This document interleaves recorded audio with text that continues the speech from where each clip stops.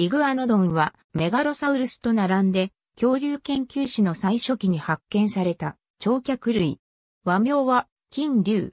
中世大白亜紀前期のヨーロッパに生息していた。イグアノドンを発見したのはイギリスの稲会社だったギデオン・マンテルである。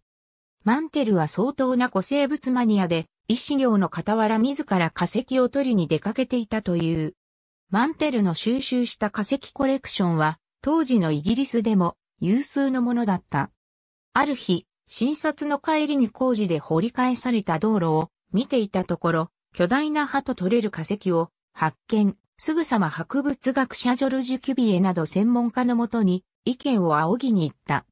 ところが、キュビエらは最下、象の歯としか捉えず、マンテルは納得しなかった。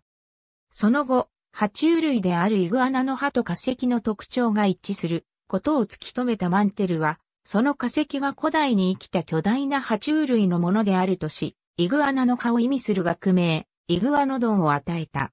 マンテルが想像したイグアノドンは、鼻先に角を持ち、長大な尾、イグアナのような体育をしていた。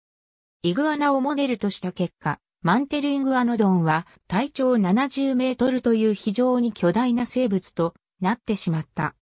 体長はともかく、その後長く、マンテルイグアノドンのスタイルはしばらく受け継がれることになる。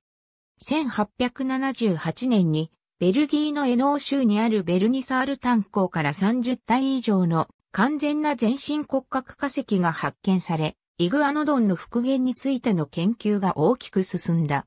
現在この化石は、ベルギー王立自然史博物館に展示されている。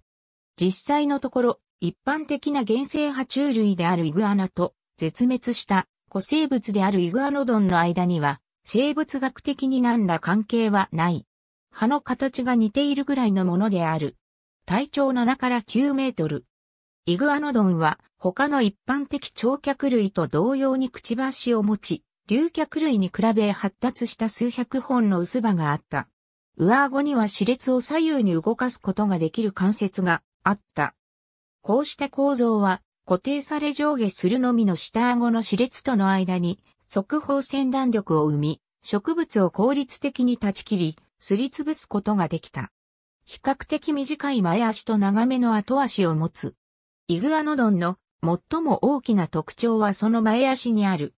親指はほとんどが長さ15センチメートルほどの円錐状の鋭く尖った骨からできていて、マンテルが角と見ても仕方がなかった。実際には骨にさらに角質の爪が被るのでさらに長くなる。これが親指だと判明した当時は肉食恐竜に対する唯一の防御方法として知れ渡っていたが、現在では柔軟性の高い大腰とともに、藪の中で好みの葉を寄せるときに使われたのではないかと考えられている。実際、捕食動物に襲われた際、この親指を武器として使える余裕があったかどうかは疑問である。イグアノドンはマンテルの頃に四足歩行、やがて二足歩行で復元されるようになり、現在では再び四足歩行に戻っている。これは前肢の5本の指のうち真ん中の3本に手の甲側へ深く曲げることのできる特殊な関節を持っていることが分かったためである。イグアノドンは通常四足歩行で体重の軽い若い個体や急ぐ時などは二足歩行をしていたのだろうと考えられている。イグアノドンの王の断面が縦長になっているため、かつては王を使って泳ぐ水生動物と考えられたこともあったが、現在では陸生であったとされる。ありがとうございます。